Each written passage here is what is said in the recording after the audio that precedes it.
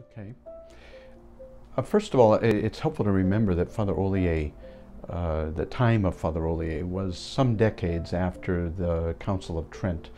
And in a sense, the church had already called for uh, a reform, not a reformation as such, but a reform in the church, especially as regards the formation of priests.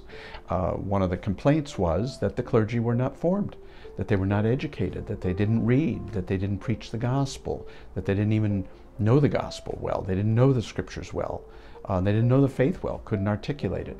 Well, Olier and other reformers really wanted to address that issue. If you could get the priests to really be on board with what the church's expectations were with regard to uh, well-rounded formation, education as well, then the people would come along.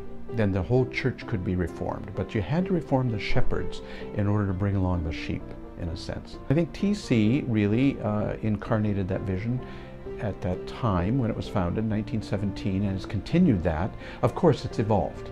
It's evolved, but it's still at heart very Sulpician in orientation. So it's got that apostolic spirit that imbued Father Olier. It's got that desire for evangelization, the desire really to form good and holy priests who uh, would be good pastors for their sheep.